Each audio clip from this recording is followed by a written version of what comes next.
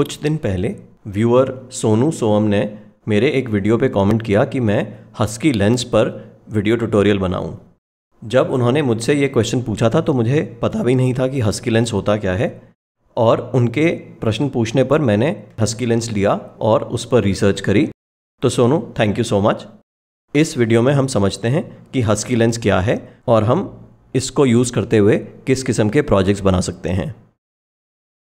Husky lens एक AI based camera है artificially intelligent camera है, जिसको कि टेक्निकली मशीन विजन सेंसर कहते हैं।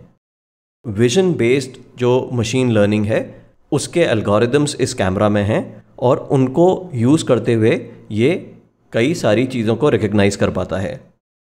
तो हस्की लेंस सात चीज़ें रिकग्नाइज़ कर सकता है face colour object object tracking line tracking object classification और टैग रिकग्निशन यानी कि Q R code recognition HuskyLens में कुछ बिल्ट इन एल्गोरिदम्स हैं, जो कि single click of a button से मशीन लर्निंग को यूज़ करते हुए इस किस्म का ऑब्जेक्ट रिकग्निशन कर पाते हैं। हस्की लेंस यूज़ करते हुए आप कई सारे इंटरेस्टिंग प्रोजेक्ट्स बना सकते हो।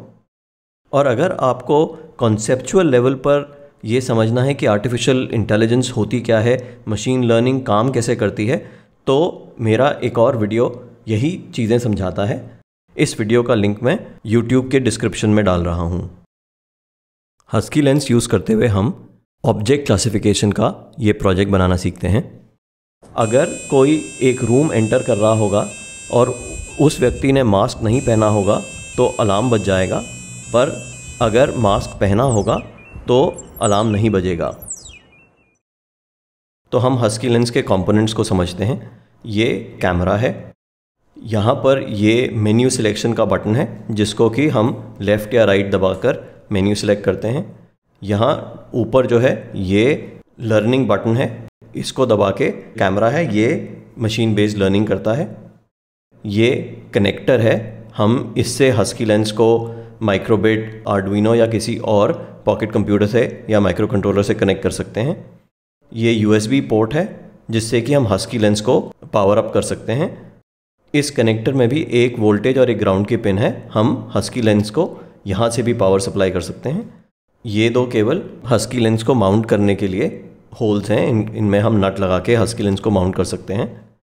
और दूसरी तरफ़ ये स्क्रीन या मॉनिटर है। हस्की लेंस के पैकेट में उसको माउंट करने के लिए हमारे को क्लिप्स वगैरह भी मिलते हैं। साथ ही हमारे को ये एक रबर की स्लीव मिलती है टू प्रोटेक्ट दी कैमरा मैंने हस्की लेंस के ये ब्लैक कलर माउंट को एक जो मैंने थ्री प्रिंट किया था माइक्रोबिट होल्डर उसके साथ लगा दिया है। फ़र्स्ट स्टेप पर मैं ये सब चीज़ें माउंट कर रहा हूँ।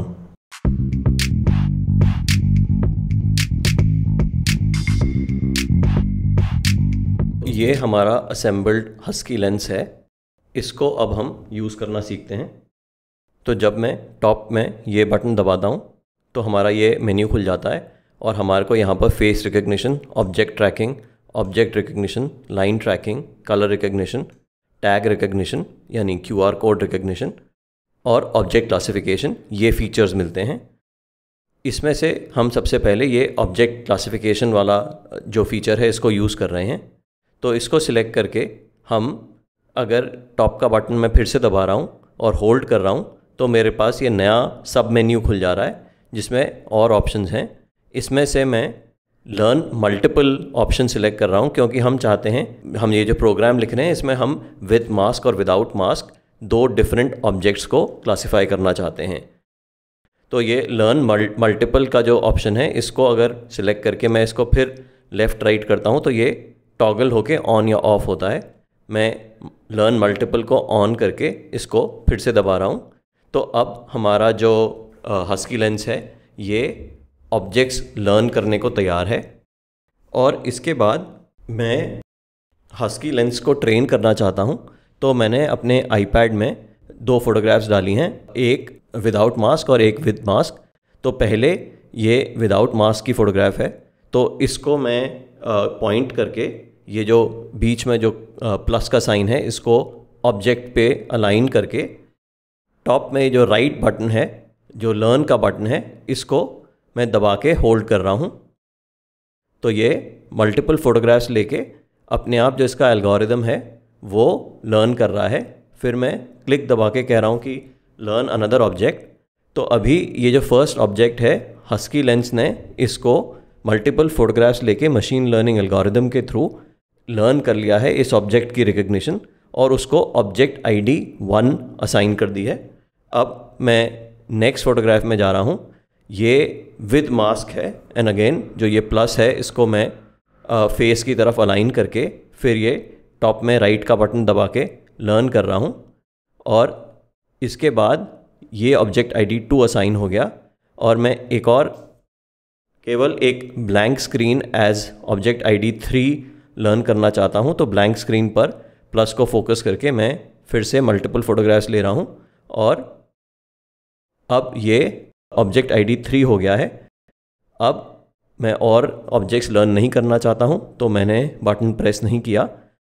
तो अब हमारे तीन ऑब्जेक्ट्स हस्की लेंस ने लर्न कर लिए हैं।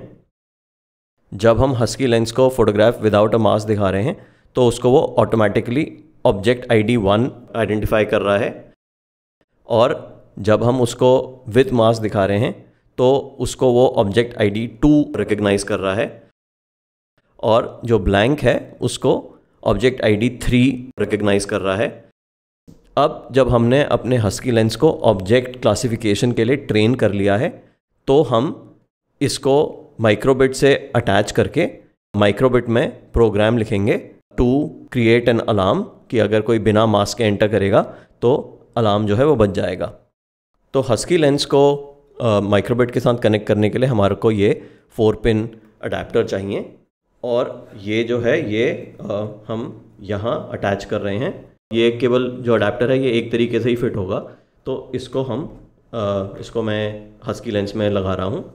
और इसके बाद मैं दूसरी तरफ़ हमारे को ये जो दो वायर्स हैं तो ये रेड कलर का जो वायर है ये तो वीसीसी ब्लैक कलर का जो है ये ग्राउंड और उसके बाद हमारे पास एक ब्लू कलर का वायर है जो सीरियल क्लॉक ट्रांसमिट करता है और फाइनली हमारे पास ग्रीन कलर का वायर है जो कि सीरियल डेटा यानी कि data in a serial mode transfer करता है। तो माइक्रोबिट में जो ये SCL और एस सीरियल क्लॉक और सीरियल डेटा की पिन्स हैं, वो पिन नंबर 19 और 20 होती हैं। तो पिन 19 और 20 हम सीधे एक्सेस नहीं कर सकते हैं। डायरेक्ट एक्सेस हमारे पास केवल ज़ीरो वन और टू पिन्स की है। तो इसलिए हमारे को एक ब्रेकआउट बोर्ड चाहिए। तो मैं ये ब्रेकआउट बोर्ड ले रहा हूँ और मैं माइक्रोबिट इसमें फ़िक्स कर रहा हूँ। तो इसमें हमारे को आ, सारी पिन्स मिल जाती हैं इंक्लूडिंग पिन नंबर 19 एंड 20 तो अब मैं ये जो ब्लू पिन है सीरियल क्लॉक उसको पिन नंबर 19 एस में डाल रहा हूँ। और जो ग्रीन पिन है इसको मैं ट्वेंटी पे डाल रहा हूँ पिन नंबर ट्वेंटी यानी जो डेटा की पिन है। और ग्राउंड की पिन को मैं ग्राउंड से कनेक्ट कर रहा हूँ। इस ब्रेकआउट बोर्ड में बॉटम में सारी पिन जो हैं वो ग्राउंड की हैं। और ये जो वीसीसी या वोल्टेज की पिन है, इसको मैं कहीं अटैच नहीं कर रहा हूँ क्योंकि हमने जो हस्की लेंस है, इसको हम यूएसबी से पावर कर रहे हैं। तो हमारे को माइक्रोबिट से पावर लेने की ज़रूरत नहीं इसके लिए। तो ये हमारे कनेक्शंस जो हैं, ये अब हमारा हस्की लेंस और हमारा माइक्रोबिट जो है वो आपस में कनेक्ट हो गए हैं। अगले वीडियो में हम मेक कोड में इसका कोड लिखना सीखते हैं।